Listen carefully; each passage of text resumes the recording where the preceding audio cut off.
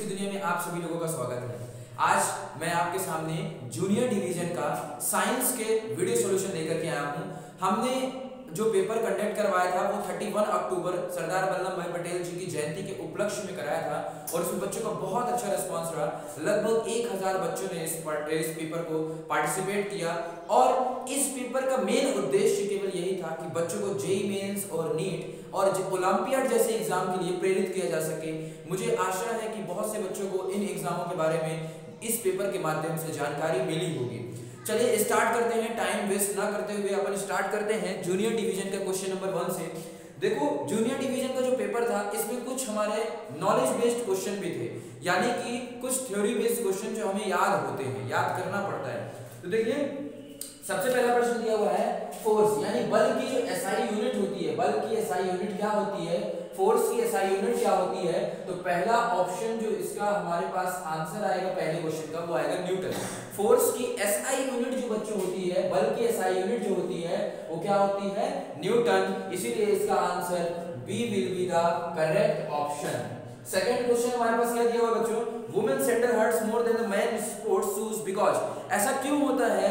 कि जो औरतों की सैंडल्स होती हैं, यानी स्लीपर्स होती हैं, उनमें चोट लगने की चांसेस ज़्यादा होते हैं। अब जरा सा माइंड में दिमाग लगाओ चांसेस क्यों ज़्यादा होते हैं? क्योंकि जो वुमेन्स की सैंडल होती है, वो हील वाली होती है। हील वाली होती हैं, जो हील वाली सैंडल्स होती है, उनके नीचे का जो पोर्शन होता है, वो एरिया कम होता है। और जो हम लोग के शूज़ वगैरह होते हैं, उनमें एरिया का पोर्शन ज़मीन में इतना सारा रखा रहता है। तो देखो, होता क्या है एक्चुअली में, कि अगर इसके हील का सरफेस एरिया ज़मीन से कांटेक्ट अगर हम ग्राउंड से कांटेक्ट की बात करते हैं तो उनका जो सैंडल होती है सैंडल की जो हील होती है, इतना पोर्शन बस ज़मीन से कांटेक्ट में रहता है और इतना पोर्शन इतना पोर्शन बस ज़मीन से कांटेक्ट में रहता है। और जो हमारा शूज़ होता है शूज़ का क्या होता है वुमेन्स के शूज़ मतलब कि जेंट्स जो मैन होते हैं, उनके शूज़ का कांटेक्ट जो होता है, बहुत ज़्यादा रहता है। तो अगर एरिया ऑफ़ कांटेक्ट कम है तो बताओ, इसमें गिरने के चांसेस ज़्यादा है कि नहीं है? ज़्यादा है ना? बोलो, कसम से बताओ। इसमें अगर एरिया ऑफ़ कांटेक्ट यानी क्षेत्रफल जो है मतलब कि जो सरफेस इस ग्राउंड से टच वाला क्षेत्रफल है, वो बहुत कम है। और इसमें बहुत ज़्यादा होता है, इसमें बहुत कम है तो गिरने के चांसेस में ज़्यादा है। अगर गिरने के चांसेस में ज़्यादा है चोट लगने के भी चांसेस इसमें ज़्यादा होंगे। तो सवाल वाला देखो क्या पूछ रहा है। पहला ऑप्शन दे रहा है womens are stronger in health जो औरतें होती हैं, बहुत ज़्यादा स्ट्रॉन्ग बहुत ज़्यादा मज़बूत होती है, इसलिए उनकी चोट कम लगती है। ऐसा क्या? नहीं वुमेन सेंटर मतलब इसलिए उनकी चोट ज़्यादा लगती है। दूसरा ऑप्शन दिया हुआ है sports shoes have small heels जो स्पोर्ट्स शूज़ होते हैं जेंट्स के, उनमें हील्स छोटी होती है। गलत, उनमें हील्स नहीं होती है। उनमें हील्स बहुत कम नहीं होती है। फिर तीसरा ऑप्शन दिया area of contact of sandal heel is more अच्छा जो वुमेन्स की सैंडल होती है, उनकी जो चोटी होती है हील होती है, उसका क्षेत्रफल जो होता है, वो कांटेक्ट ज़्यादा होता है। नहीं कांटेक्ट कम होता है। तो ऑप्शन नंबर देखो फोर में क्या लिखा हुआ है? Area of contact of sandal heel is lesser यानी कि सैंडल की जो हील होती है, उसका जो कांटेक्ट होता है, ज़मीन से बहुत कम होता है। और अगर कांटेक्ट कम होगा बच्चों तो कांटेक्ट कम होने की वजह से गिरने के चांसेस बहुत ज़्यादा होंगे। यानी चोट लगने के चांसेस क्या होंगे? ज़्यादा होंगे इसीलिए सेकंड का ऑप्शन नंबर कौन सा करेक्ट होगा? डी थर्ड में आ जाओ। थर्ड में क्या दिया हुआ है आपके पास? थर्ड में देखो। हमारे पास थर्ड में क्या दिया हुआ है? तरह तरह के इंस्ट्रूमेंट तरह तरह के वो बने हुए, बर्तन बने हुए तरह तरह के बर्तन बने हुए। बना लो। ये क्वेश्चन ओलंपियाड में आया हुआ क्वेश्चन है। ये क्वेश्चन बहुत इंपॉर्टेंट क्वेश्चन है। ये बड़ा वाला बर्तन बना लिया हमने। और एक बर्तन बना हुआ हमारे पास, ऐसा करके ऐसा करके, ऐसा। अब खुद सोचो तुम। सबकी हाइट जो दी हुई है यहाँ पे सवाल में, ये हाइट इसकी एच है इसकी भी एच है, और इसकी भी एच है, और इसकी भी एच है। ये बारहवीं क्लास में अपन ग्यारहवीं क्लास में थोड़ा इसका कंसेप्ट अच्छे से देखते हैं, लेकिन अभी कॉमन सेंस लगाते हैं। पानी के अंदर एक्चुअली पानी भरा हुआ, पानी भरा हुआ, पानी भरा हुआ, इसमें भी पानी भरा हुआ है, पानी भरा हुआ है, और इसमें भी पानी भरा हुआ है, पानी भरा हुआ है। इसमें भी पानी भरा हुआ है हमारे पास, इसमें पूरे पूरे उसमें पानी भरा हुआ है, और इसमें भी हमारे पास क्या भरा हुआ है? वाटर भरा हुआ है, ठीक है ना, पूरा। अब आप इमेजिन करना, जरा ध्यान से देखना। कि देखो, होता क्या है एक्चुअली आप ये वाला एग्जांपल होता मेरे को। जैसे एक बोरी, दो बोरी और तीन बोरी रखी हुई है। तो नीचे वाली बोरी पे सबसे ज़्यादा प्रेशर लगेगा? बोलो, सबसे ज़्यादा दबाव किस वाली बोरी पे लगेगा? तीन बोरी रखी हुई है तो सबसे ज़्यादा दबाव किस बोरी पर लगेगा? नीचे वाली बोरी पर लगेगा। सेम मतलब ऐसा समझो लेकिन समझ में तो आ रहा है नीचे वाली गोली की लग रहा है। यानी नीचे जाने पर क्या होता है बच्चों? प्रेशर जो होता है हमारे पास, वो बढ़ता जाता है। नीचे जाने पर प्रेशर क्या होता जाता है? बढ़ता जाता है। और रूल ये होता है रूल ये होता है कि पानी के अंदर जितनी हाइट आप नीचे जाओगे प्रेशर उतना बढ़ता जाएगा। तो इसमें भी हम कितनी हाइट नीचे आ रहे हैं? एच हाइट नीचे आ रहे हैं। इसमें भी कितनी हाइट नीचे आ रहे हैं? एच हाइट नीचे आ रहे हैं। इसमें भी कितनी हाइट नीचे आ रहे हैं? एच हाइट नीचे आ रहे हैं। इसमें भी कितनी हाइट नीचे आ रहे हैं? एच हाइट नीचे आ रहे हैं। तो सब में एच हाइट सभी बर्तनों में हम एच हाइट नीचे आ रहे हैं। तो क्या होगा? नीचे जाने पर जैसे मान लो, नीचे जैसे तीन बोरियाँ रखी हुई हैं, इसमें इधर पास तीन बोरियाँ रखी है तो नीचे एच हाइट नीचे है। फिर अगली जगह पे भी तीन बोरियाँ रखी है तो एच नीचे है। तो जो ये नीचे नीचे वाली तीसरी, तीसरे नंबर वाली बोरियाँ थी, ये फ़र्स्ट सेकंड एंड थर्ड वाला सेम यहाँ पे फ़र्स्ट सेकंड थर्ड वाला, इस पर प्रेशर और इस पर प्रेशर तो बराबर होगा ना? तो यहाँ पर प्रेशर और यहाँ पर प्रेशर और यहाँ पर प्रेशर तो बराबर होगा ना? बोलो ना। बोलो। बोलो, बराबर होगा कि नहीं होगा? तो इसको ऐसे याद रखते हैं कि पानी के अंदर जितनी हाइट हम नीचे जाते जाते हैं, उतना प्रेशर बढ़ता जाता है। यदि सब में हम बराबर हाइट नीचे जाते हैं, यदि हम सब में बराबर हाइट नीचे जाते हैं तो नीचे वहाँ पर सबका प्रेशर सेम रहता है। तो सबका प्रेशर यानी सबका दबाव जो होगा हमारे पास सेम होगा। इसीलिए इसका ऑप्शन नंबर बच्चों हो जाएगा हमारे पास डी तो अभी तक तो हमारे पास बी आया डी आया, फिर इसका थर्ड का क्या आंसर आ रहा है? डी आ रहा है। क्वेश्चन नंबर फोर देखो। क्वेश्चन नंबर फोर बहुत इजी है नॉलेज बेस्ड है। क्या लिखा हुआ है हमारे पास? पास्कल पढ़ते बच्चे। पास्कल जो होती है, ये यूनिट किसकी होती है? प्रेशर की होती है। किसकी होती है बच्चों? पास्कल जो होती है, दबाव की यूनिट होती है। किसकी यूनिट होती है? दबाव की। Pascal is the SI unit of pressure ठीक है ना? पास्कल हिंदी मीडियम का पेपर नहीं क्या? देखने रहा पास्कल किसकी यूनिट होती है बच्चों? प्रेशर तो पास्कल किसकी यूनिट होगी? प्रेशर की। तो इसमें ऑप्शन नंबर हमारे पास सही हो गया। क्वेश्चन 4 का option number A will be the correct option ठीक है ना? यहाँ तक आई थिंक आपको समझ में आ गया होगा। क्वेश्चन नंबर 4 तक तो समझ में आ ही गया होगा। सबसे अच्छा क्वेश्चन इसमें ये वाला था। क्वेश्चन नंबर थ्री याद रखना है आपको। क्वेश्चन नंबर थ्री में क्या होता है? जितनी हाइट नीचे जाते हैं, उतना ज़्यादा प्रेशर बढ़ता जाता है। यदि सब में हाइट बराबर नीचे जाएँगे तो सबका प्रेशर क्या होगा बच्चों? सेम होगा। क्या होगा सबका प्रेशर सेम होगा। समझ रहे हो ना बात को? चलिए, आगे मूव ऑन करते आगे मूव ऑन करते हैं। आगे प्रश्न क्या दिया? हमारे पास क्वेश्चन नंबर पाँच। क्वेश्चन नंबर पाँच, बहुत इजी बहुत इजी एक गाँव में डॉक्टर ने एक लड़के को पालक खाने की सलाह दी। सुनो एक गाँव में एक डॉक्टर ने लड़के को पालक खाने की सलाह दी। बच्चों, पालक जो होता है, पालक में हमारे पास आयरन पाया जाता है। क्या पाया जाता है? आयरन और आयरन उस बच्चे को दिया जाता है जिसको आयरन की टेबलेट वगैरह उसको दी जाती है, जिसको अनेमिया रोग होता है। कौन सा रोग होता है? अनेमिया रोग होता है। तो किसके लिए प्रिवेंशन हो गया हमारे पास? प्रिवेंट अनेमिया तो फिफ्थ में आंसर आ जाएगा आपका। बी नंबर समझ रहे हो बात को? क्या बोला? कि एक गाँव में एक डॉक्टर ने क्या किया? बच्चों को पालक खाने की सलाह दी। पालक में आयरन पाया जाता है और आयरन जो होता है वो अनीमिया रोग से हमें बचाता है। इसीलिए उसे हम ऑप्शन नंबर बी को टिक करेंगे। क्वेश्चन नंबर सिक्स देखो। फिजिक्स क्या है। क्वेश्चन नंबर सिक्स देखो। फिजिक्स क्या है। फिजिक्स तो मज़े वाली होती है। मज़े वाली है तो मज़ेदार मज़े तरीके से सॉल्व करेंगे। देखो होता क्या है? क्वेश्चन नंबर सिक्स में क्या दिया हुआ हमारे पास? कि अट्रैक्शन होगा कि रिपल्शन होगा? मतलब आकर्षित करेंगे एक दूसरे को कि विकर्षित करेंगे? मतलब दूर जाएँगे, भागेंगे एक दूसरे से या पास आएँगे? तो ऑप्शन से सॉल्व करते हैं अपन। पहले ऑप्शन में क्या दिया है? नॉर्थ और साउथ दिया हुआ है। क्या दिया हुआ हमारे पास? नॉर्थ है साउथ है साउथ है नॉर्थ है। तो देखो, ऐसे याद करो इसे। कि अगर सेम सेम होते हैं सेम सेम को पास पास लाते हैं तो ये दूसरे को रिपल करते हैं। रिपल मतलब होता है दूर भागना, दूर भागते हैं ना? दूर जाना, दूर जाएँगे। कहा जाएँगे? दूर जाएँगे। अट्रैक्ट नहीं होंगे। अट्रैक्ट मतलब होता है आकर्षित करना। आकर्षित करना होता है आकर्षण। आकर्षण नहीं होगा इनमें। आकर्षण क्यों नहीं होगा? प्रतिकर्षण। अगर दोनों सेम सेम होते हैं दोनों अगर सेम सेम को पास पास लाते हैं तो उनके बीच में क्या होता है? प्रतिकर्षण होता है। क्या होता है? प्रतिकर्षण होता है। आकर्षण नहीं होता है। क्या होता है उसमें बच्चों बताओ? प्रतिकर्षण होता है। और अगर सेम सेम नहीं है, एक इधर नॉर्थ है, इधर साउथ है, और इधर नॉर्थ है, इधर साउथ है अलग अलग आके आपस में मिलते हैं अलग अलग को मिलाते हैं अलग अलग अगर आते हैं सेम सेम में क्या होता है? प्रतिकर्षण और अलग अलग में क्या होता है? आकर्षण होता है। क्या होता है? आकर्षण होता है ना? समझ रहे बात को? क्या होता है? आकर्षण होता है। नहीं समझ में आ रहा? बोलो। सेम सेम में क्या होता है हमारे पास? आकर्षण होता है। और नहीं गलत बोल दिया सॉरी सॉरी क्या होता है? सेम सेम में क्या होता है? रिपल्शन यानी प्रतिकर्षण होता है। और अलग अलग में आकर्षण होता है, यानी अट्रैक्शन होता है। तो ऑप्शन देखो कौन सा होना चाहिए। पहला ऑप्शन तो सही होगा नहीं, क्योंकि पहले वाले में सेम सेम लिखा हुआ है और आकर्षण लिखा हुआ है तो पहला गलत।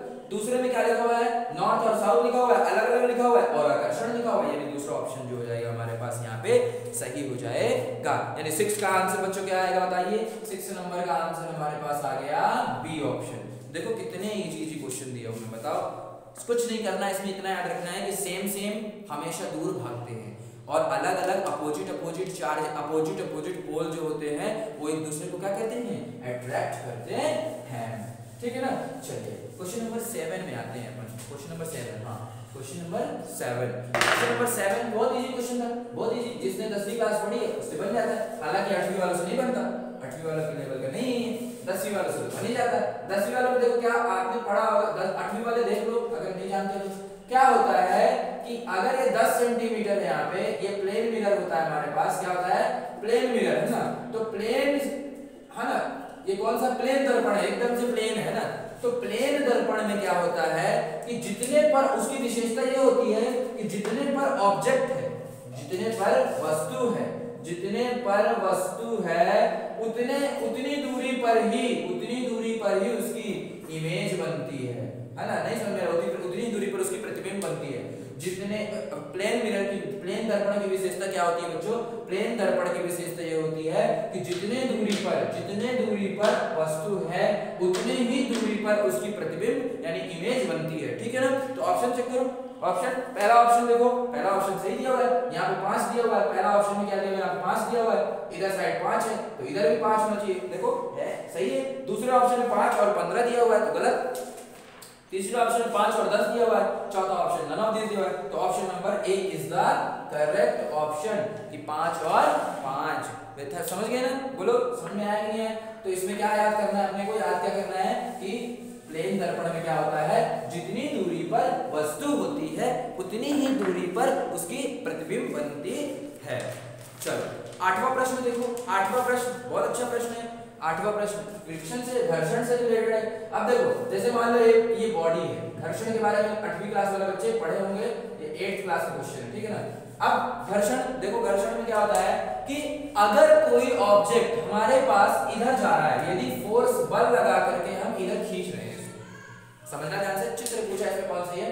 तो अगर हम क्या करेंगे, बल लगा करके इस ब्लॉक को इधर खींच रहे होंगे तो जानते हो तुम लोग फ्रिक्शन जो होता है, यानी घर्षण बल जो होता है, वह हमेशा दिशा मतलब कि जाने वाली दिशा के उल्टी डायरेक्शन में लगता है। यानी ब्लॉक जो है, ये जो बॉक्स है ए बॉक्स मान लो ए बॉक्स यदि इधर जा रहा है तो फ्रिक्शन फोर्स इस पर इधर लगेगा। क्या लगेगा फ्रिक्शन फोर्स फ्रिक्शन जो घर्षण बल होगा जो घर्षण बल होगा घर्षण बल होगा, वो किधर लगेगा हमारे पास? पीछे साइड लगेगा। नहीं समझ में आ रहा है? अगर ब्लॉक इधर जा रहा है तो उस पर घर्षण बल इधर साइड लगेगा।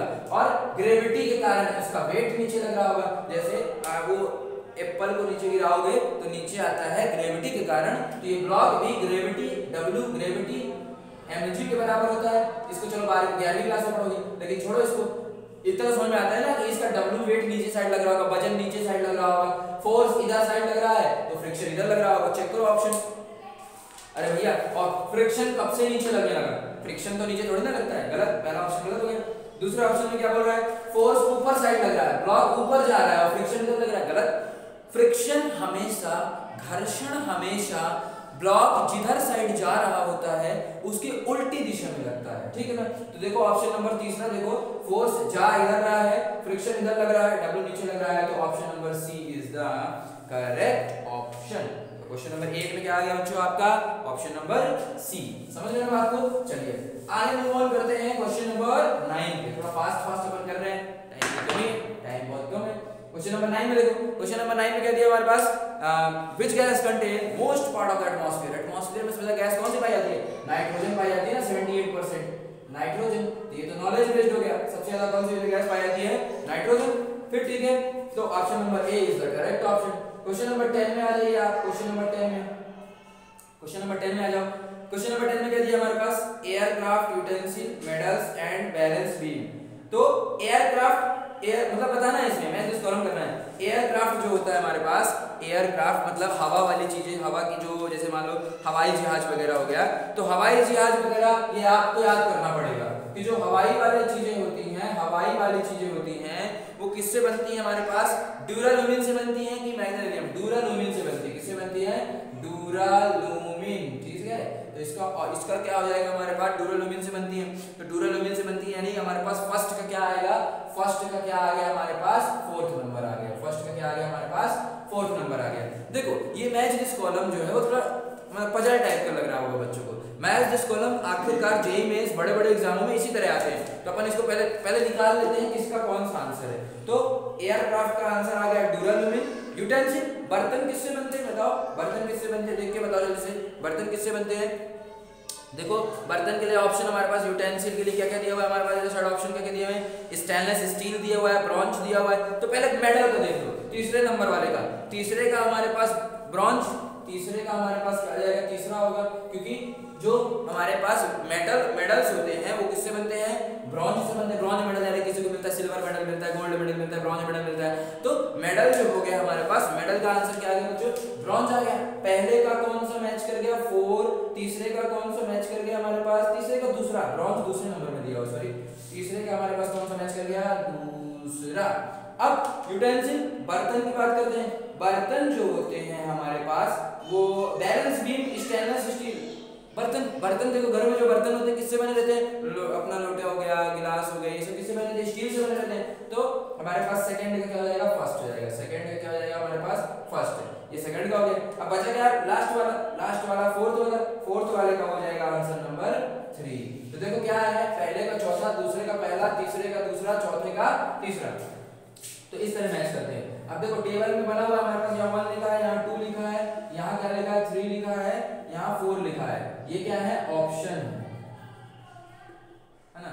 ऑप्शन क्या क्या दिए हैं? ए बी सी डी अब इसमें देखो, अब पहले का आंसर बताओ क्या है आपका? पहले का आंसर चार है। देखो, चार किस किसमें लिखा हुआ है? इसमें लिखा हुआ है और इसमें लिखा हुआ है। दूसरे का आंसर बोलो वन है। तो दूसरे के आंसर में वन किसमें लिखा हुआ है? हमारे पास सी वाले में लिखा हुआ है। तीसरे का आंसर बोलो क्या है? टू है। तीसरे का आंसर टू है। चौथे का आंसर बोलो क्या है? थ्री है। तो ये तो ये वाला आंसर हमारा सही हो गया। यानी ये वाला आंसर हमारा सही हो गया। यानी option number C is the correct option समझ रहे बच्चों? ठीक है। आई थिंक आपको यहाँ तक समझ में आ गया होगा। चलो, अब आगे बढ़ते हैं क्वेश्चन नंबर इलेवन में।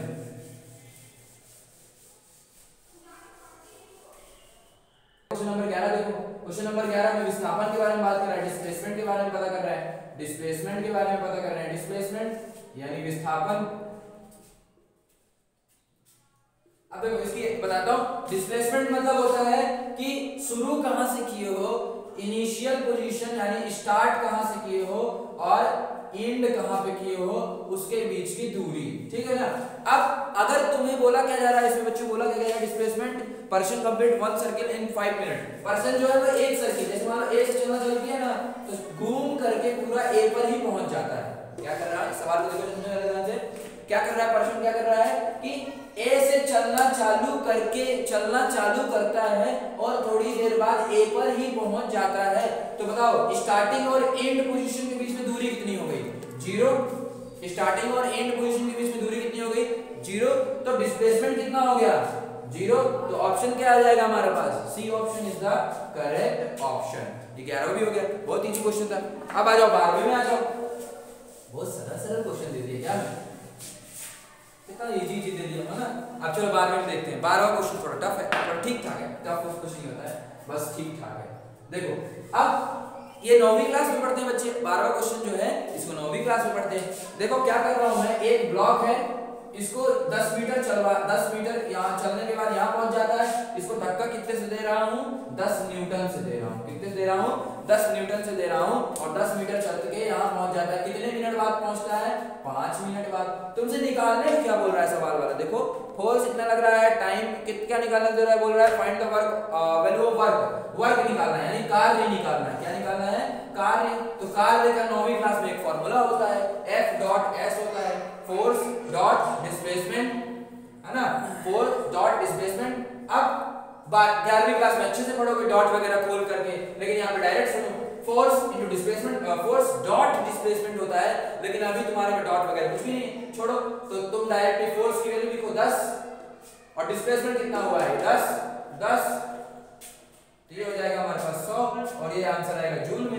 नहीं समझ में आ रहा? बहुत इजी था। क्या था? कार्य का फॉर्मूला याद होना चाहिए कि बल गुणा विस्थापन, बल बल बल इनटू डिस्प्लेसमेंट कर दिया है तो उससे आंसर आ जाएगा हमारे पास। समझ में आ रहा है नहीं आ बल दस लग रहा था और डिस्प्लेसमेंट विस्थापन कितना था? दस था। तो इन दोनों को गुणा जो होता है, वही हमारे पास क्या होता है? कार्य होता है और कार्य की जो ऐसा यूनिट होती है, वो जूल होती है। इसीलिए इसका आंसर हो जाएगा बच्चों हंड्रेड जूल यानी option number A is the correct option question number तेरह देखो। क्वेश्चन नंबर तेरह देखो। क्वेश्चन नंबर तेरह। आठवीं वालों से नहीं बनेगा। क्वेश्चन नंबर तेरह, नौवीं वालों से नहीं बनेगा। क्वेश्चन नंबर तेरह, दसवीं वालों से बन जाएगा। ओम लॉ है। कौन सा लॉ है? Ohm's law. ओम्स लॉ शायद पढ़े हैं। Ohm's law. ओम्स लॉ में क्या होता है? V is equal to I R होता है। V equal to I R होता है। और इसका जो ग्राफ बनता है हमारे पास, किसका ग्राफ बनाना है? V वर्सेस i का बनाना है। V वर्सेस i तो यहाँ पे अगर इसको सॉल्व करते हैं तो v बाय i बराबर क्या आता है हमारे पास? R आता है R रेजिस्टेंस रेजिस्टेंस मतलब प्रतिरोधक, तार जो होती है, हर तार का एक प्रतिरोधक होता है तो ये कांस्टेंट होता है, इसलिए इसका ग्राफ जो बनेगा स्ट्रेट लाइन कांस्टेंट बन जाएगा। यानी ऑप्शन नंबर ए आठवीं वाले चिंता ना करें, नौवीं वाले चिंता ना करें, दसवीं वाले यदि नहीं बना है तो बहुत बड़ी चिंता की बात है, क्योंकि ये तो आपके सिलेबस में है। ठीक है ना? ओम लॉ का नियम v आई आर ग्राफ इस तरह से बन जाएगा। चलो, आगे बढ़ो क्वेश्चन नंबर 14 क्वेश्चन नंबर 14 सबसे बनना चाहिए था, आठवीं वालों से भी बनना चाहिए था, नौवीं वालों से भी बनना चाहिए था, और दसवीं से तो बनना ही चाहिए था देखो, क्या दिया हमारे पास? ये बहुत इंपॉर्टेंट क्वेश्चन है। ध्यान से देखना इसको। क्या बोल रहा है? एक पार्टिकल है, एक व्यक्ति है जो ए से बी में जाता है ए से बी में जाता है, फिर क्या करता है? बी से सी में जाता है, फिर क्या करता है? सी से डी में जाता है, फिर क्या करता है? डी से ए में आता है। तो बताओ फ्रिक्शन का घर्षण किस तरह लग रहा होगा? तो बताओ, चलो तुम खुद बताओगे। अभी मैं थोड़ी देर पहले बताया था, घर्षण बल जो होता है, वह हमेशा चलने की दिशा के विपरीत में लगता है। यानी कि जो फ्रिक्शन फोर्स होता है, वो हमेशा मोशन के अपोजिट डायरेक्शन में लगता है। यानी, अब बंदा ए ए है बी है सी है डी है एरो बताओ बस तुम। अच्छा यहाँ पहले, सबसे पहले क्या हो रहा है? पार्टिकल जो है वो कहाँ से, एक बंदा जो है वो कहाँ से कहाँ जा रहा है? ए से बी में जा रहा है। कहाँ से कहाँ जा रहा है? ए से बी में जा रहा है। तो जो फ्रिक्शन फोर्स होगा, वो किधर लगेगा? जब जाने की दिशा इधर साइड होगी तो घर्षण बल की दिशा, जाने की दिशा यदि इधर साइड है तो घर्षण बल की दिशा उसकी विपरीत इधर साइड होगी। तो इसका मतलब ये एरो ऐसे बन जाएगा। अब यहाँ से यहाँ जा रहा है, क्या जा रहा है? बी से सी जाने की दिशा ऊपर साइड है तो घर्षण बल की दिशा नीचे साइड होगी, ये नीचे साइड इधर जाने की दिशा इधर साइड है तो घर्षण बल की दिशा इधर साइड होगी। ये हो गया। अब जाने की दिशा नीचे साइड है तो घर्षण बल की दिशा ऊपर साइड होगी। अब देख लो मेरा तो ऑप्शन कौन सा मैच कर रहा है? देखो ऑप्शन नंबर कौन सा मैच कर रहा है? ए ये ए वाला तो मैच नहीं कर रहा है ऑप्शन बी वाले में देखो ए से बी बी से सी नहीं मैच कर रहा है। सी वाला ऑप्शन देखो, ये भी मैच नहीं कर रहा है। डी वाला ऑप्शन देखो, ये डी ऐसे, फिर ऐसे फिर ऐसे। फिर हाँ D is the correct option D वाला मैच कर रहा है तो आंसर कौन सा जाएगा हमारे पास बच्चों? डी करना क्या था इसमें? कुछ नहीं करना था केवल इतना याद होना चाहिए बच्चों को कि घर्षण बल जो होता है, हमेशा चलने की दिशा के, चलने की दिशा के उल्टी दिशा में लगता है। जिधर साइड चल रहे थे ना अपन, उसके उल्टी दिशा में लगता है। समझ गए बात को? चलो। क्वेश्चन नंबर पंद्रह देखो आप। क्वेश्चन नंबर पंद्रह। क्वेश्चन नंबर पंद्रह में क्या बोला है? Metals which is not corroded by the air water and acid ऐसी कौन सी चीज़ है जिसमें जंग नहीं लगती है? पानी के साथ, हवा के साथ और इन सोना? सोना में जंग नहीं लगती है। तो जानते हो, बचपन से जानते हैं आगे तभी तो हम सोना की चीज़ें खरीदते हैं। बहुत महँगी होती है इनमें जंग नहीं लगती है। तो सोना आंसर हो जाएगा। सोना C option the correct option फिर 16 में देखो if you press two surface hard to greater than friction force अगर आप दो सरफेसों को बहुत ज़्यादा प्रेस करोगे, यहाँ पे बहुत ज़्यादा इसे दबाव, बहुत ज़्यादा दबाव दोगे, बहुत ज़्यादा फोर्स लगाओगे तो फ्रिक्शन की वैल्यू घर्षण की वैल्यू भी तो बढ़ेगी। तो दबाव लगाने पर पूछ रहा है, घर्षण की वैल्यू क्या होगी? तो ज़्यादा दबाव लगाने पर घर्षण की वैल्यू बढ़ जाती है। तो फ्रिक्शन फोर्स क्या आ जाएगा हमारे पास बच्चों? इंक्रीज अब क्वेश्चन नंबर सत्रह देखो। क्वेश्चन नंबर सत्रह क्या है हमारे पास? मैथ कॉलम है मैथ कॉलम तरीका जानते हैं, अपन सॉल्व करना जानते हैं। चलो, बताते हैं, क्या पूछ रहा है पहले? डिस्प्लेसमेंट यानी विस्थापन। नौवीं क्लास में पढ़ते हैं। नौवीं क्लास में पढ़ते हैं कि डिस्प्लेसमेंट यानी कि विस्थापन जो होता है, विस्थापन जो होता है हमारे पास, वो एक कौन सी क्वांटिटी होती है? डिस्प्लेसमेंट में कौन सी क्वांटिटी होती है, ये पूछ रहा है हमसे। तो बता देंगे अपन डिस्प्लेसमेंट कौन सी क्वांटिटी होती है? सत्तीस मात्रा होती है तो इसका नाम ये जो होगा, हमारे पास कौन सी क्वांटिटी होगी? सत्तीस। सत्तीस वैल्यू हो जाएगी ना, यानी वेक्टर क्वांटिटी होगी। ये नौवीं क्लास में बच्चे पढ़ते हैं। जो नौवीं वाले बच्चे होंगे ना, वो जानते होंगे कि जो डिस्प्लेसमेंट यानी जो विस्थापन होता है, वो एक सतीश वैल्यू होती है। सतीश वैल्यू होती है, विस्थापन में इसमें क्या होता है? दिशा भी होती है हमारे पास। दिशा और मान दोनों होता है। डायरेक्शन भी होती है और इसका मान भी होता है। इसीलिए विस्थापन जो होती है, वो सतीश वैल्यू होती है। तो विस्थापन अगर सतीश वैल्यू है तो हमारे पास जो पहला पहला वाला है, ये पहला वाला आ गया। यानी कि हमारे पास फ़र्स्ट का क्या मैच कर रहा है हमारे पास? फोर्थ मैच कर रहा है। फ्रीक्वेंसी फ्रीक्वेंसी जो समय फ्रीक्वेंसी जो होती है, उसका जो फॉर्मूला होता है आवृत्ति। आवृत्ति जो होती है, आवृत्ति फ्रीक्वेंसी मतलब होता है आवृत्ति तो आवृत्ति का फॉर्मूला जो होता है हमारे पास वन अपॉन टी होता है। ये फॉर्मूला आप याद कर लीजिए। जिन्हें नहीं पता है वो याद कर लो। फ्रीक्वेंसी का फॉर्मूला क्या होता है? वन अपॉन टी होता है। तो दूसरे नंबर का हमारे पास आवृत्ति का फॉर्मूला क्या होता है? एक बटे समय अंतराल तो दूसरे का ऑप्शन क्या आ जाएगा? हमारे पास वन आ जाएगा।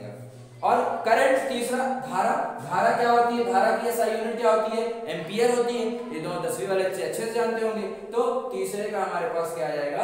दूसरा नंबर फिर बचा लास्ट डिस्टेंस डिस्टेंस का हो जाएगा हमारे पास तीसरा नंबर यानी कि यानी कि हमारे पास क्या जाएगा? अधिस वैल्यू मात्रा। ठीक है ना? तो बताओ मैच मैच कराओ। पहले का हमारे पास चौथा, पहले का चौथा, दूसरे का पहला, तीसरे का दूसरा, चौथे का तीसरा। यानी A is the correct option समझ गए बच्चों? कुछ नहीं करना होता है, मैथ्स दिस कॉलम में यदि आपको एक दो बन जाए ना तो आप उसको ढूंढ ढूंढ के मैच कराने की कोशिश किया करो। जब थोड़ी ना कि सबका आंसर सबको पता होगा, चारों का पता होगा, एक दो का पता चल जाए ना तो आप उससे मज़े से सॉल्व कर सकते हो। It is your last question last question बच्चों क्या कह रहा है? लास्ट क्वेश्चन कह रहा है कि डिस्टेंस है इधर साइड डिस्टेंस है और इधर साइड क्या हमारे पास? टाइम है। तो डिस्टेंस टाइम ग्राफ बनाना ये ऐसा हो गया, ऐसा हो गया, ऐसा हो गया। ये क्या बना हुआ इसे क्या बोल रहे हैं? ओ से ए बी और ये हमारे पास सी पूछ रहा है कि वेलोसिटी कहाँ पर सेम होगी? तो यूनिफॉर्म होगी। तो देखो, ध्यान से देखना। ग्यारहवीं क्लास पढ़ोगे इसको अच्छे से? देखो, इसका डी डी डिस्टेंस और टाइम डिस्टेंस और टाइम का जब ग्राफ रहे ये जो लाइन होती है ना, इस लाइन की जो स्लोप होती है स्लोप ग्यारहवीं क्लास पढ़ोगे। अभी बताता हूँ मैं स्लोप जो होती है, वो स्लोप किसको बताती है? वेलोसिटी को बताती है। स्पीड को बताती है। ठीक है ना? स्पीड के बारे में पूछ रहा है इसमें। हाँ स्पीड को बताती है। स्पीड तो यहाँ पे देखो सबकी स्पीड क्या है? सेम है। यहाँ पे अलग है। फिर से ये लाइन ऐसे बन गई है। तो यहाँ सेम होगी। यानी हमारे पास ओ ए और बी सी इन सब में वेलोसिटी जो है वो क्या? स्पीड जो है, यानी गति जो है, वो समान है। तो पूछ रहा है, गति समान कहाँ है? यहाँ, और यहाँ गति समान है, यहाँ गति समान नहीं है। इसलिए आंसर हो जाएगा हमारा डी तो थैंक यू बच्चों, सारे सॉल्यूशन मैंने बता दिया है। अभी आपको थोड़ी देर बाद आकाश भैया जो हैं, वो आपको मैथमेटिक्स के सॉल्यूशंस बताएँगे, और इसी प्रकार हम रीजनिंग के भी सॉल्यूशन बताएँगे। थोड़ा टाइम थोड़ा लेट हो गया हूँ बट ठीक है, आप मिलाइए, अपने मार्क्स कैलकुलेट करिए, और जो क्वेश्चन और भी नहीं समझ में आ रहे हैं, आप कमेंट सेक्शन में मुझे मैसेज करिए कि ये नहीं समझ में आया है। I will try to explain all things thank you